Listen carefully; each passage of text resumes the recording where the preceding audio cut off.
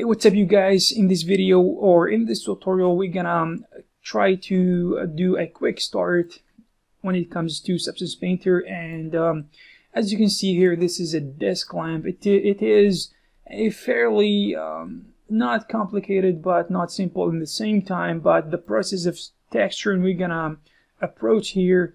And what we're gonna do is we're gonna try to simplify the process of texturing as much as we can here because this is a quick start to those who don't really know what Substance Painter is. So as you can see here, uh, I've previously done uh, created a video about uh, kind of an overview of Substance Painter. and we talked about the interface and everything that you can see on the screen. Now we're gonna try to do a quick start. So this is actually a, um, as you can see here, this is um, this is a, uh, a desk lamp and um, these are kind of some folders and some materials inside and some masks. So we're going to talk about the basics of creating these things in order to generate the results that you can see here using the tools we have inside Substance Painter. So we're going to actually remove everything because I want to explain things from scratch. So I think this is going to be beneficial to, for understanding the basics and how the software works from the ground up, or at least the process I use in order to get my stuff done. So first thing I want to do, or I usually do before starting anything, is actually creating folders for the materials I, I, I know I have, um, or I'm going to create on top of my model. So here we have kind of black, we have black, um, black metal, we have white shiny metal for these screws and bolts and small pieces, and we have white paint inside the um, inside here inside the head of the uh, the lamp. And also the bulb is kind of white plastic or white glass but we're gonna do the same create use the same material because it doesn't make any difference whatsoever at this stage. So we're gonna create a the first folder. We're gonna call it let's just say black metal. For simplicity of course we're gonna create another folder we're gonna call it shiny metal.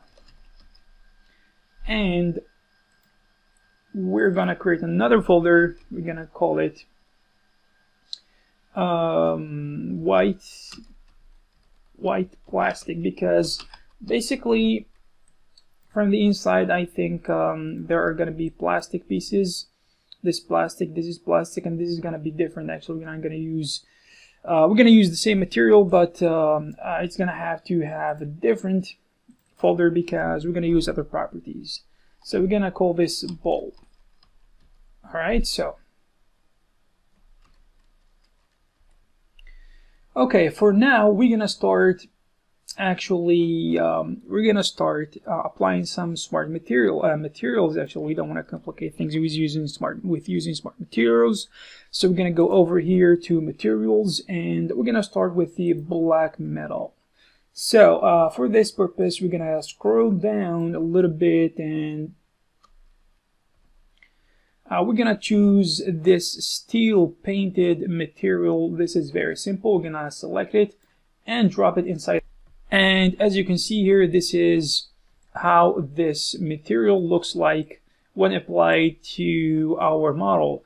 The thing is that Substance Painter, when we apply something on it, it doesn't care what you applied before, it's gonna cover everything. So also there is a dynamic in Substance Painter uh, layers. Uh, the, the one on top is gonna cover everything below it. So uh, since we have the first layer here or the first material, it is the dominating one. It is the only one in the scene. So uh, right now what we're gonna do is we're gonna create a black mask because obviously this material is not gonna be applied to everything. It's gonna be applied only to the black metal that we're gonna apply it to. So uh, probably I was super fast here. So right click add black mask.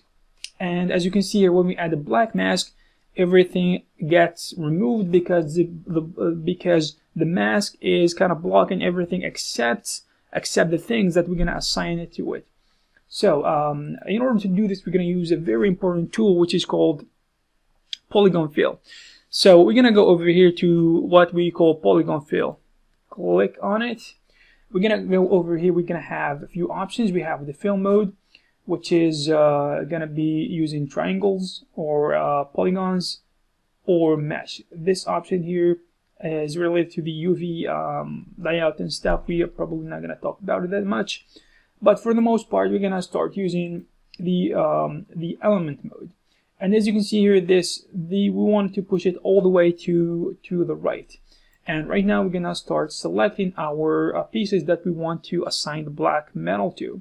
So as we select it, we can see that we are selecting the areas that we want to be uh, affected. So we're gonna keep doing this and these are gonna be the pieces that we want to be part of this. Also these springs and everything here actually is gonna be part of it. We can actually select everything and we will be just fine also here is going to be the same thing. We're going to do but um, sometimes you're going to have to be careful because uh, you don't want to make mistakes. Uh, it's okay to make mistakes but uh, you don't want to make mistakes that you can't see later and this happened to me a lot and still happens to me but uh, I go back and fix them. But um, the thing is you need to be careful and as much as you can while you're doing this so right now we're gonna do uh, select some of these pieces as well. So this big piece, but the thing is, um, we're going to actually have the inside of this, the head of the uh, desk lamp here, kind of white, painted with white. So what we're gonna do is um, probably gonna leave that later. For now, we're gonna go with the shiny metal. So as you can see here, we're gonna go probably uh, here to materials. Probably we're going to use uh, aluminum or we're going to use, mm, let's just say, iron shiny. These are very similar. It doesn't matter really which one you use. So for example, if we use this one, we're going to do the same process. Right click, add a black mask. And here you go. Um, the um, the material is really hidden using black mask what we're gonna do is we're gonna go to the polygon fill it is already selected. And we're gonna go over here to our pieces. Select the pieces that are gonna be affected by the black mask. Probably you can't see clearly what's going on here because of the because of the wireframe which is okay because this is temporary when you when you activate the polygon fill, polygon fill you can see everything clearly. Alright, this is gonna be super quick. And actually Substance Painter made the process of texturing super easy. It's very traditional. I literally can't go back to use Photoshop and the old techniques because Substance Painter and uh, the software that works similarly actually revolutionized the process of texturing for 3D artists because First of all, it's PBR, which is physically, uh, basically um, physically rendered, and uh, uh, which means that you can see, you're able to see the results in, uh, as you apply your textures. And also, it's very quick and it is procedural and everything else that makes it easier and faster and better. Okay, so this is for our shiny materials or for our uh, shiny metal as you can see here. And uh, for now we're gonna go to the white. We should call it the white the white uh, white metal plastic whatever. Keep it as it is because it has metal and um, and plastic at the same time so we're gonna have to choose one in the end of the day. So probably for the purposes of making things simpler we're gonna go with uh, we are gonna use uh, a plastic material like this one plastic glossy pure. Apply it over here and as you will see it's gonna cover everything. So now we're gonna add a black mask and we're gonna go to the polygon fill. Select our mesh uh, fill or element fill whatever. I actually uh, use some kind of uh, some of the terms and some of the um, some of the names that I use in the um, 3D packages like 3ds Max or Maya or Blender. And right now we're going to assign our uh, material to this piece first of all. And I'm leaving it blue right now because I want to see, I want to see what's going on. But uh, in order to select the inside only, we're gonna of course use the polygon option here. But the thing is, selecting all these like this is not gonna work. It's super slow. So we're gonna go to, um, we're gonna hit F3 from the keyboard in order to go to the UV view. So this is what um, what you can see when you look at it from the um, UV viewport and F1 in order to see them simultaneously in the same time. So, alright, that's perfect. Now we can actually start selecting our polygons very freely. Okay, nice. It's way faster. We're gonna select the polygons that are gonna be painted with this type of material like this make sure you don't accidentally select anything else which is going to be terrible. Alright so for now we're going to go to the uh, plastic material or whatever. We're going to go to color or base color and change it to white or whatever color we want it to be. Also, it seems like uh, we have to select this one here because it is part of the deal. As you can see here, it is, it's not very clear, but we're gonna select everything related. It seems also that there is probably, I can't really see what's going on here. Alright, that's it. This one here. We got you and the other side supposed to I don't know maybe um, it shouldn't be affected because it seems like we got everything covered here okay nice so when we go to the paint option here we can see that the inner side now is white also this plastic material or the bulb holder is also white and it's a plastic so in order to gain some time and for the sake of simplicity we're going to give them the same material we, which we chose to be plastic. For now we're going to go to the bulb which is supposed to be glass but for demonstration purposes we're to use whatever material we have like fill layer, plastic, metal, it doesn't matter.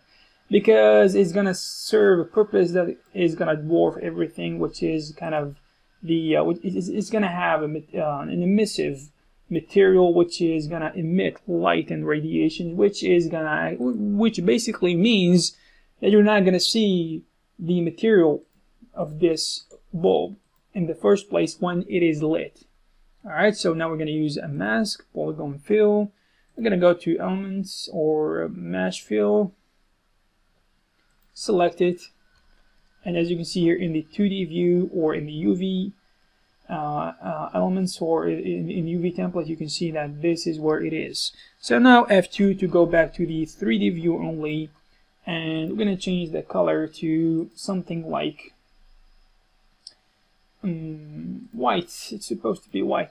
What else can we paint a uh, bulb? Probably yellow or something like that, which is um, which is something you don't see a lot. So this is it for the um, the, the, the, the simplest ways of creating materials and creating folders, organizing your materials, organizing everything that you're going to use, and also using masks, using the polygon fill, using the um, the the, uh, the viewport options like the perspective and the 2D view. And we talked about how to select polygons and how to paint using polygons, using elements, using mesh fill. And um, lastly, I want to try something. Probably uh, we want to, we don't want to complicate things, but um, screw it, let's do it. So I'm to go over here. So uh, if you are looking for simplicity, consider your lesson done. But um, hmm, for those who want to spice it up, we're gonna add emissive channel. I'm gonna go over here back to plastic glossy pure. Go back over here, gonna find the emissive channel, activate it. Go back to emissive and add some brightness. Alright, so this looks more like a bulb. And if you want to spice it up even more, we're going to go to win Windows, Display Settings, are not shadows. We're going to go to, let's just say, Activate Lens Effects, Glare. Damn it, it works. And, yep, here, here we go, son. This is some nice effect of uh, of a desk lamp shining some light. Also, we can change some some of these parameters and some of the these effects here. Some of the uh, kind of rainbow colors here, which makes it so silly. It's unbelievable. Anyways, thank you very much, and I will see you in the next one.